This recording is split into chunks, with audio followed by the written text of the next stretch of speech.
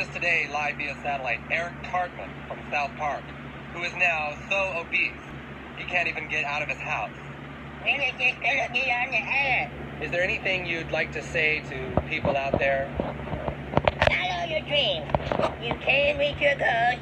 I'm living proof.